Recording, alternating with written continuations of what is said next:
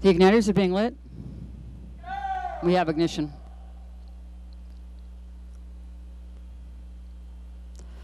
Five seconds. Flames in the igniters are looking about uh, one, one and a half feet high. One thirty seconds. Uh, sound of a uh, possible uh, rupturing of a can. Flames have uh, spreading now into the second storage tier level, increased in height to uh, five to six feet high. 145, flame steadily reaching uh, five to six feet high, and 151 seconds, uh, in-rack sprinkler operated.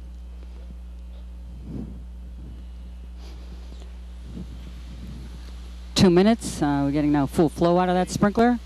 Flames are still reaching to almost to the top of the uh, second storage tier level, about five to six feet high. Two minutes, 10 seconds. Fire plume being upset somewhat, but however, flames are still spreading into the uh, second tier level in the ignition flue area.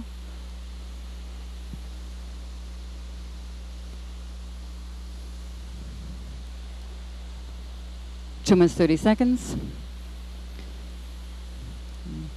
Fire is still persisting. Uh, flames reaching four to five feet high, uh, partially reaching into the second storage tier level. Uh, small fire persisting at the uh, bottom tier in the ignition area. Uh, flames extend uh, two and a half, three feet high at the very most. Uh,